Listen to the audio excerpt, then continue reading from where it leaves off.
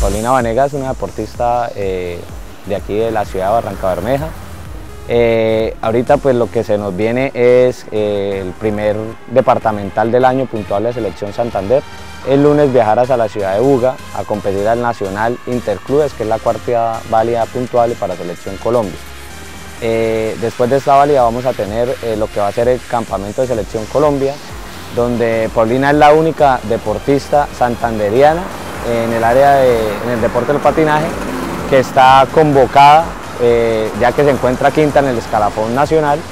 Pero lo más importante es que Barranca vuelva a tener entrenadores, vuelva a tener deportistas de este nivel y que lo más gratificante pueda ser que ella llegue a ocupar ese cupo eh, en la selección Colombia, porque sería pues la única santanderiana eh, en el año 2018 en la selección.